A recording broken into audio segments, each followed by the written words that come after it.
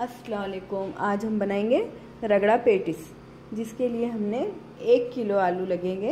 इस तरह से हमने इसे साफ़ धो के एक कुकर में बॉईल करने हम इसे रख देंगे और हमने 800 800 ग्राम बटाने लिया है, जो हमने टोटल चार कप बटाने लिया था। ये सूखे बटाने थे।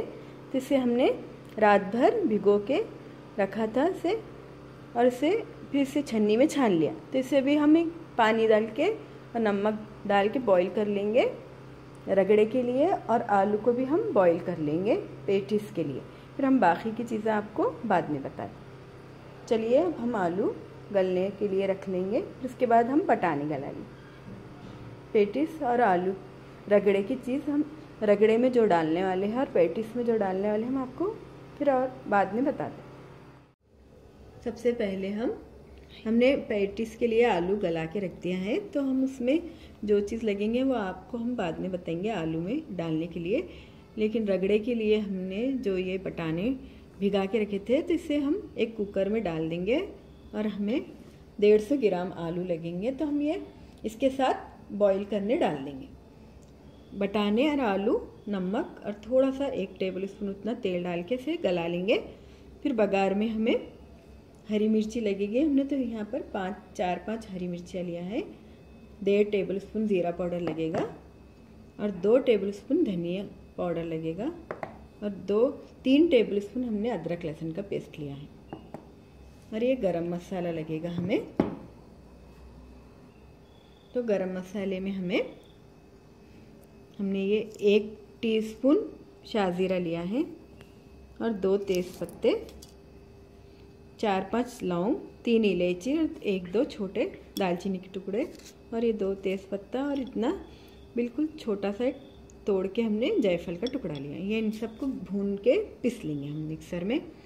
तो चलिए, और ये प्याज हमें बघार में लगेगी।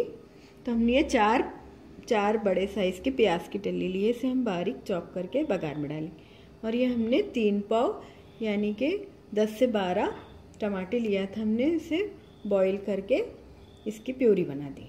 तो हमने ये टोटल तीन पाव टमाटर लिए थे। ये हमारे आलू, हमने ये पेटिस के लिए गलाए थे इसमें। हमने एक टेबल स्पून नमक डाला है और ये हमें बटाने लगेंगे। हमने फ्रेश बटाने लिया है। रगड़े के लिए हमने, सूखे हुए बटाने लिए थे। ये इसके लिए हमने ताज़ा मटर लिए हैं। तो ये हमने दो कप भर के लिए, यानी कि ढाई सौ ग्राम पाउसर लिया है हमने ये। तो ये हम एक किलो आलू के हिसाब से इसमें पाउसर बटाने डाल रहे हैं। ये इसमें मिक्स कर देंगे और आलू को अच्छे से मैश कर देंगे। फिर इसमें हम एक कप भर के ब्रेड क्रम्स डाल रहे हैं। ये हमने ब्रेड को मिक्सर में पिस लिया था। तो ये एक कप भर के है, यानी कि 200 ग्राम। और ज़ीरा पाउडर लिया हमने एक टेबल स्पून और नींबू नींबू का रस हमने एक एक टेबल स्पून इतना नींबू का रस लिया और किशमिश हमने एक टेबल स्पून लगेगी हमें। और हरा धनिया और हरी मिर्ची हमें तीन, चार हरी मिर्ची लिए हमने, इसे बारीक पीस दिया है। एक टेबल स्पून हरी मिर्ची डालेंगे इसमें हम। और इसकी फिर कटलीस बनेंगे। फिर इसे हम हल्का सा तेल डाल के फ्राई करेंगे। चलिए इसे अच्छे से हम मिक्स कर लेंगे सब चीज़ें इसमें तो हम इसमें ब्रेड क्रम्स भी इसमें मिला दिया हम हमने ये सब चीज़ें इसमें अच्छे से ज़ीरा पाउडर, नींबू का रस अच्छे से मिक्स कर दिया है। अब, और इसमें हमने ब्रेड क्रम्स मिलाया है। अब इसे हम अच्छे से इसके ऐसी टिक्किया बना के से हल्का सा नॉन स्टिक पैन में तेल डाल के फ्राई कर लेंगे। हल्के से बस हमें इसे तेल डाल के सेकना है। तो इस तरह से हम पूरे कटलीस बना लेंगे इस टाइप के। इस साइज़ के बना लेंगे हम। ये हमने बटाने और आलू को अच्छे से इस तरह से इसे हैंड ब्लेंडर करके से रफली मोटा मोटा पिस लिया है इसे। अब इसे हम बघारेंगे तो चलिए इसमें सबसे पहले हम पाँच छः टेबल स्पून उतना तेल डाल लेंगे। सौ ग्राम उतना तेल डाल देंगे हम इसमें। फिर उसके बाद इसमें हमने पाँच से छः टेबल स्पून उतना तेल डाल दिया इसमें हमने।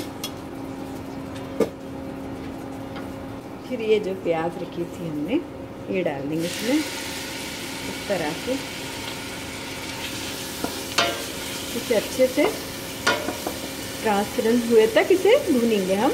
चार पाँच मिनट तक इसे फ्राई होने देंगे। फिर उसके बाद इसमें सब मसाले डालेंगे। ये हमारी प्याज गोल्डन ब्राउन हो चुके हैं। इसमें हम सबसे पहले ये जो अदरक लहसुन का पेस्ट रखा था, ये डाल देंगे। इसमें हमने हरी मिर्ची पिसके रखी थी डालने के लिए। हम इसमें थोड़ी सी हरी मिर्ची डाल रहे हैं, क्योंकि हम वो लाल मिर्ची का, जो लाल मिर्ची की चटनी पीसी लाल मिर्ची भी पिसी हुई थोड़ी सी डाल रहे हैं हम। हरी मिर्ची में कि लाल मिर्ची हमने पीसे थे तो उसका उसका भी थोड़ा सा हम पानी इसमें डालेंगे। थोड़ा सा हम हरी मिर्ची में कि लाल मिर्ची का पानी इसमें ज़रा सा डालेंगे। हमने ताज़ी ताज़ी, फ्रेश लाल मिर्ची पीसी थी। आप चाहें तो आप पूरी हरी मिर्ची भी डाल सकते हैं इसमें। हम सिर्फ़ कलर के लिए इसमें लाल मिर्ची पीसी हुई डाल रहे हैं। और ये फिर धनिया की बुकनी डाल देंगे। फिर ये जो ज़ीरा पाउडर रखा था हमने, ये भी डाल देंगे इसमें। और ये टमाटर की प्यूरी जो हमने पिस के रखी थी, ये भी डाल देंगे। इस तरह से इसे अच्छे से मिक्स कर लेंगे।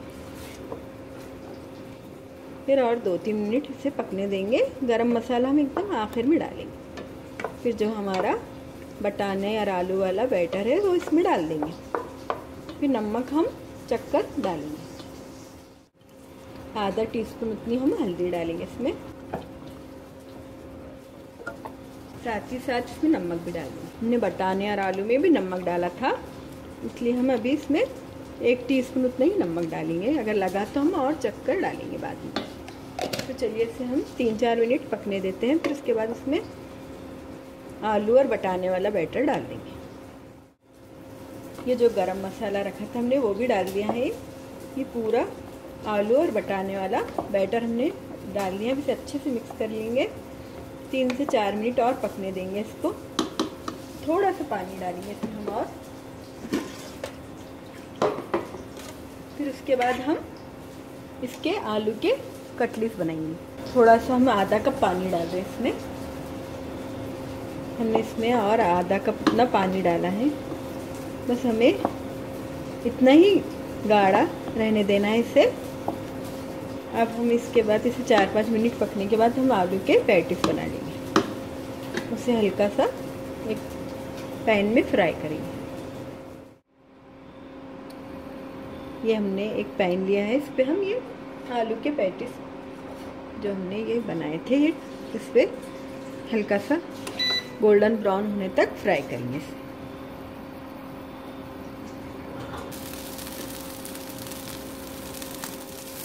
इसे तरह से हमने इसको गोल्डन ब्राउन होने तक इसे फ्राई करा है, इसको तल, इसे पलटा दिया हमने। तो इस तरह से तो इतना ही हमें इसे ब्राउन होने देना है। थोड़े से तेल में हम इसे फ्राई कर रहे हैं। इसी तरह हम पूरे पैटिस फ्राई कर लेंगे एक एक करके पूरे तल लेंगे हम। इसे हम निकाल लेंगे। इसे फिर हम बाद में रगड़ा पेट, रगड़ा पेटिस को फिर एक सर्विंग प्लेट में निकाल के इसे गार्निशिंग करेंगे। लीजिए हमारे आलू और बटाने की, रगड़े की पेटिस तैयार है। इस पर हम रगड़ा डालेंगे। इस तरह से इस पर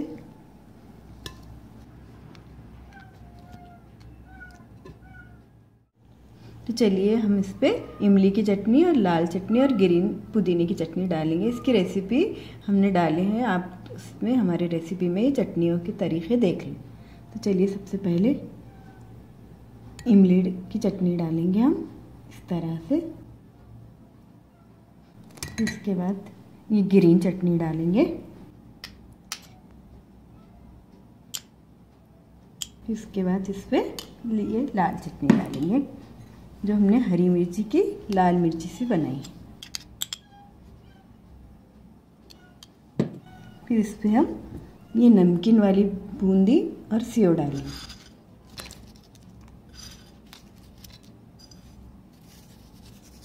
इस तरह से अच्छे से डाल देंगे। फिर हरा धनिया और प्याज डालेंगे इसमें और थोड़ा सा हम इस पर दही डाल रहे हैं। ये ऑप्शन है, आप नहीं भी डालना चाहें तो नहीं डाल सकते। हम चक्के का दही, चक्के का दही डाल रहे हैं इस पर कैसा? बस इस तरह से।